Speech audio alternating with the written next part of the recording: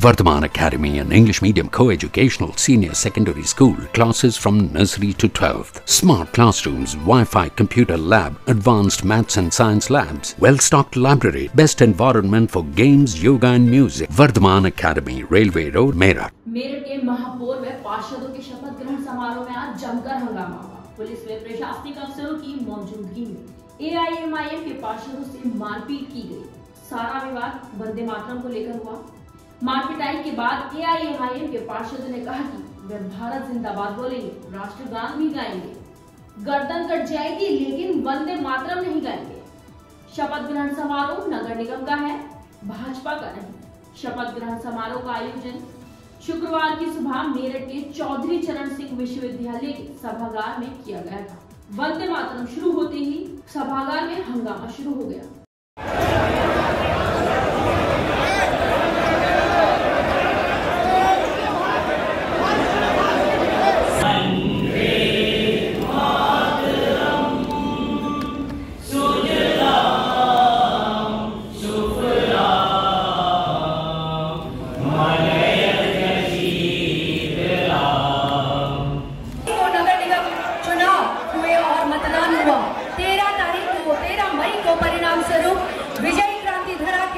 शहर के प्रथम नागरिक चले श्री अहलुवालिया जी और अलग अलग वार्ड से नब्बे सभासदों को कर्तव्य निष्ठता की शपथ दिलाने की प्रक्रिया को मैं इस मंच से आरंभ करती हूँ।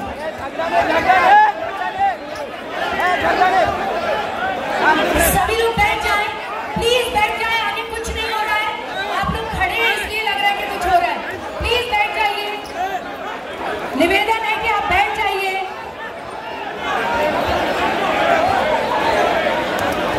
आपसे निवेदन है कि आप बैठ जाइए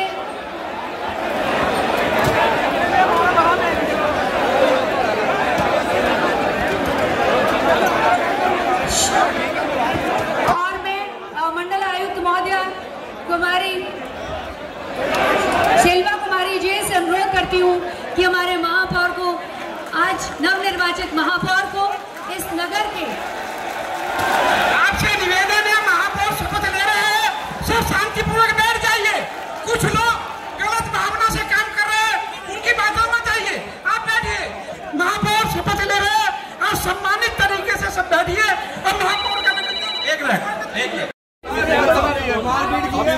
मारपीट हो रही है। मारपीट हो रही है। डीएम साहब बदतमीजी हो रही है आपके सामने बताइए बताइए हर चीज़ का देखिए हर चीज़ को करने का एक डेकोरम है अगर किसी ने कुछ किया भी तो यहाँ सब थे ना मेरा ये कहना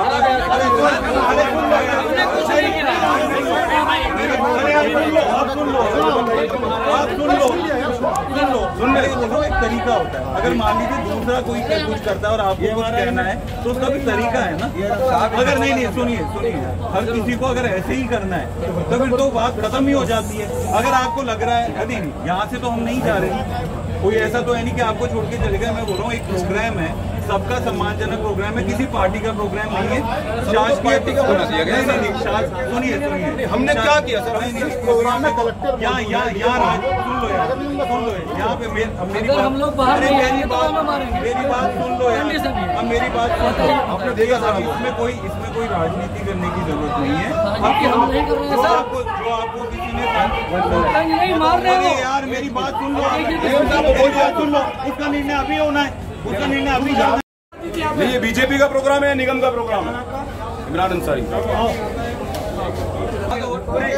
आओ आपके साथ में मैं खड़ा था अच्छा खासा मुझे बोला हो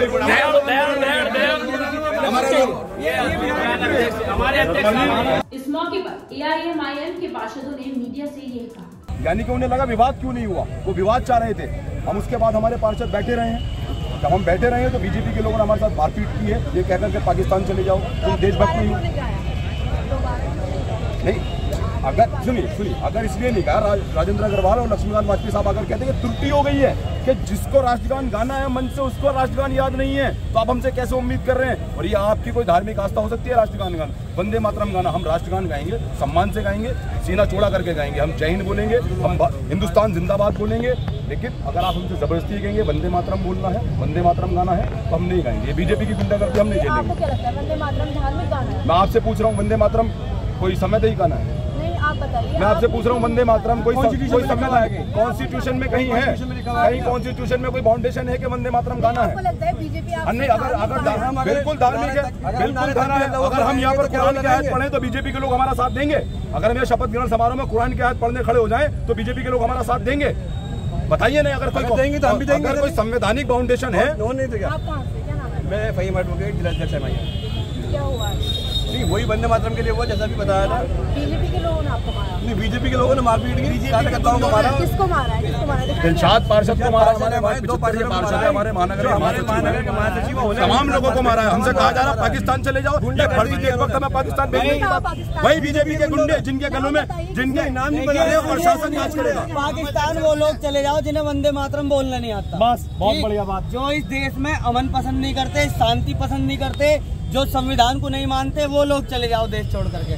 मैं आज़ाद समाज पार्टी से जिला अध्यक्ष हूँ पवन गुजर और मैं पूर्ण रूप से इन पार्षदों के साथ जो घटना हुई है उसका विरोध करता हूँ और इनके साथ हूँ कंधे से कंधा मिला करके इनके साथ जाऊँगा और पूरी आज़ाद समाज पार्टी भीम आर्मी का संगठन और अच्छा, पूरा परिवार इनके साथ सपा के लोग मौजूद बसपा सपा कांग्रेस के लोग यहाँ मौजूद थे लेकिन वो तमाम लोग बीजेपी के सामने सरेंडर कर चुके हैं। किसी की हिम्मत नहीं थी बोलने की।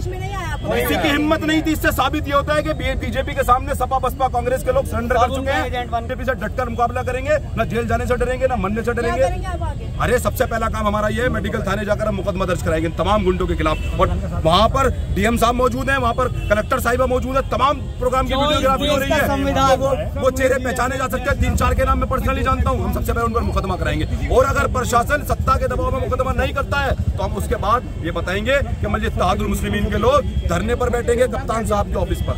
नहीं शादा जी आज यहाँ पर क्या हुआ? ये जो एम आई एम के लोग आप पर इल्ज़ाम लगा रहे हैं कि आपने मार पिटाई की है उनके साथ तो ये क्या सच है? क्या आप बीजेपी की ओर से उनके साथ मार पिटाई भारतीय जनता पार्टी का कार्यकर्ता न मार पिटाई करता है न उसको बर्दाश्त करता है।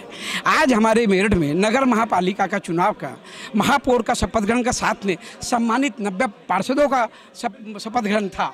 उसमें ओथ में कुछ लोग अराजक तत्व तो आते हैं चाहे वो एम के हो चाहे समाजवादी पार्टी के हों उन्हें समझना चाहिए। भारत में रह के बंदे मातरम का विरोध करो।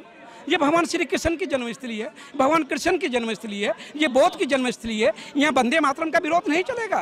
अगर आपको भारत में नहीं रहें तो बंदे आप भारत से बाहर जाएँ आप पाकिस्तान जाएँ वहाँ गुणगान करें।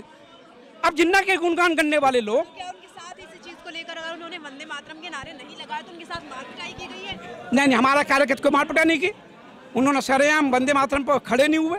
और बंदे ने विरोध किया तो मैं यही कहता हूँ कि वंदे मातरम का आचरण करने वालों को मैं कहता हूँ जिन्होंने बंदे मातरम का आचरण गलत किया उन अधिकारी को निलंबित करना चाहिए कमिश्नर और डीएम को देखना चाहिए कि वंदे मातरम जब गाया जा रहा था उनके शब्दों का आचरण में क्यों सब सही नहीं थे जो हमारे दोनों सांसद को उठ के बंदे मातरम गाना पड़ा तो इसका मतलब आप बंदे मातरम जानते नहीं बंदे मातरम सिर्फ़ एक गीत नहीं है